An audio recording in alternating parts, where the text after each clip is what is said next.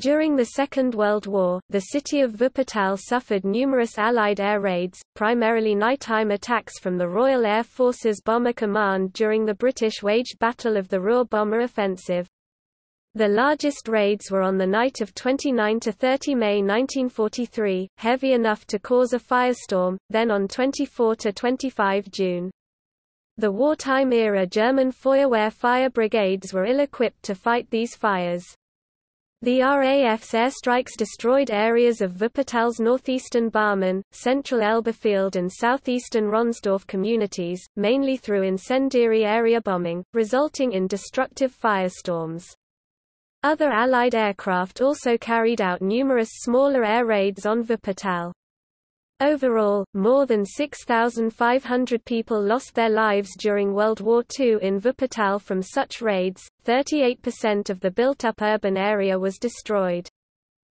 One of these RAF raids in February 1943 allegedly caused serious damage to the Goldschmidt Adhesives firm, which was making Tego film Wood adhesive for the German war effort, new aircraft designs meant to make large use of wooden airframe components, such as the Ta-154 Moskito and He-162 Spatz had their development seriously delayed or even temporarily curtailed as a result of the deficient replacement adhesive corroding the wooden airframes of such aircraft, resulting in crashes of the prototype airframes for both the mentioned Focke-Wulf and later Heinkel defensive fighter designs.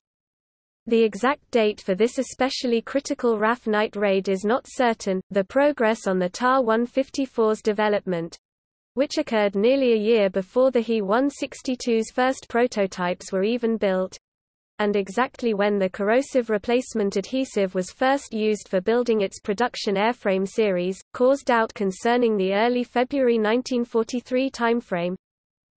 The other factor that led to such high casualty rates in Wuppertal was its location.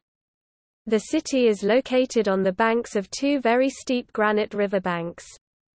The RAF had dropped timed explosives that caused the foundations of buildings to literally melt away.